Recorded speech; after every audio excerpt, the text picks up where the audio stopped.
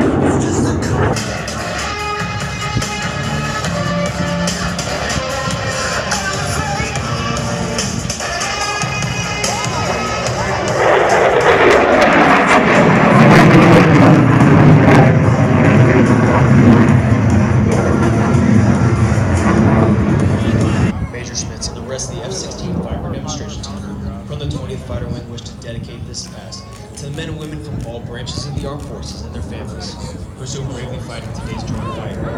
We would also like to remember our wounded warriors and veterans in attendance and those who have given their lives defending this great nation. This will be your best photo opportunity, so get your cameras ready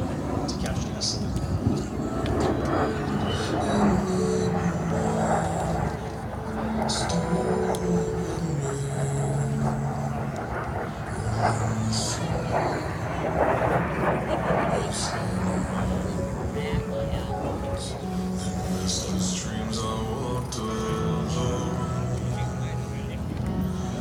narrow streams.